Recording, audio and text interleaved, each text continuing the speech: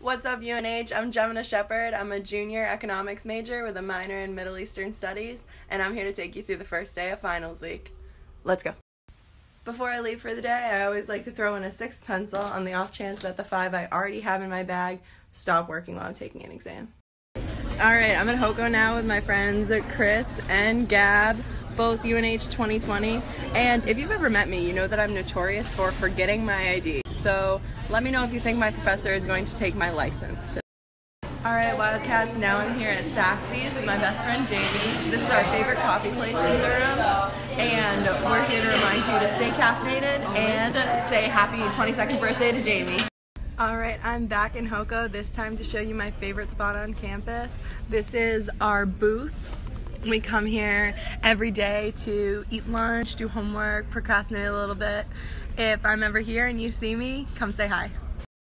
All right, now I'm getting ready to study for my one o'clock exam because now is the best time to do it. As an added bonus, come join some APO brothers in studying. But join our fraternity first.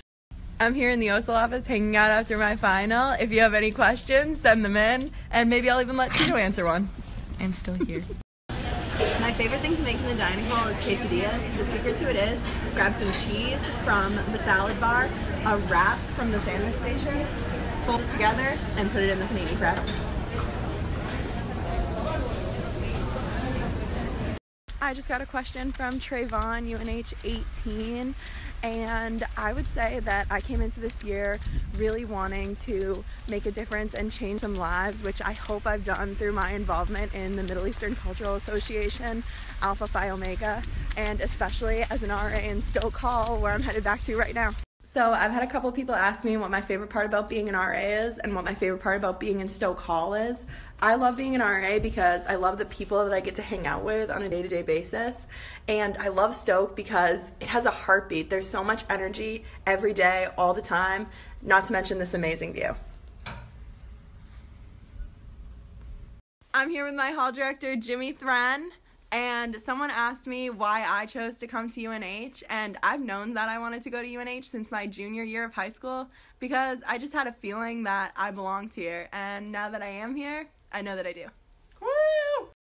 I'm here closing out the day with my staff, having a couple snacks before we go back and study for the rest of finals.